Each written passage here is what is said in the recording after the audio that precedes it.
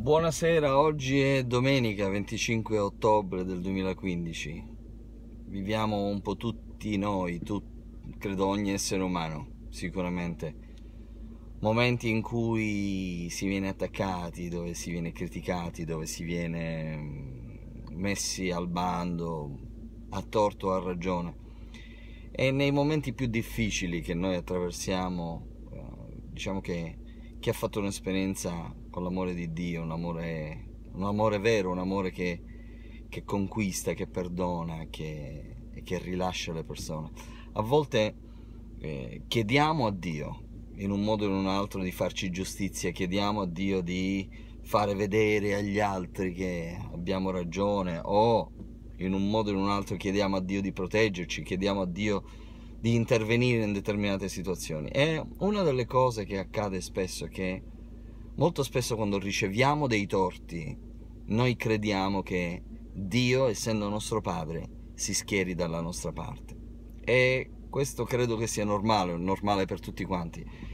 Soltanto che una delle cose che a volte noi non comprendiamo di Dio, nostro Padre, è che Lui non, non si schiera dalla nostra parte a scapito di altri lui sarà sempre dalla nostra parte, ma quello che noi non dovremmo mai dimenticare è che Lui sarà sempre dalla parte anche della persona che probabilmente ci sta facendo del male. In che senso? Non che Lui appoggi, ma che Lui sicuramente ama, che cerca di redimere, che farà di tutto per benedirla e per riportarla in un modo o in un altro a ragionare. E il motivo di, questa, di questo video è che e per fare ragionare ognuno di noi, me per primo, che troppo spesso viviamo di schieramenti e pensiamo che Dio in un modo o in un altro sia vendicativo e che si schieri dalla parte di qualcuno. Eh, Dio non si schiera dalla parte di, di persone, Dio eh, è schierato dalla parte di se stesso, Lui è amore, come Lui ama te, Lui ama nello stesso momento la persona che probabilmente ti sta facendo del male ti ama nello stesso, mom- nello stesso modo. Lui non ama te perché tu stai soffrendo più di qualcun altro. E lui non si schiera dalla tua parte perché tu stai subendo più di qualcun altro.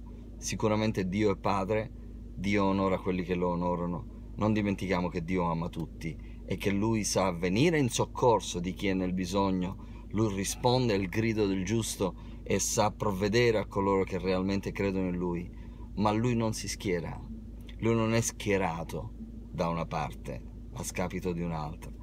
E a volte questo lo dovremmo comprendere. Chi pensa di far parte della Chiesa di Cristo, del corpo di Cristo, dovrebbe, dovrebbe realizzare, dovremmo realizzare e comprendere che Dio non è con uno più di un altro o che Dio non è contro uno meno di un altro.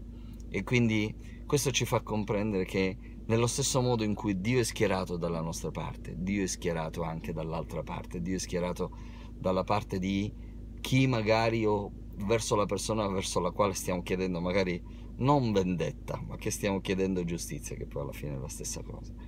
E quindi semplicemente un incoraggiamento per imparare a vedere le cose dal punto di vista di Dio e non soltanto dal nostro punto di vista.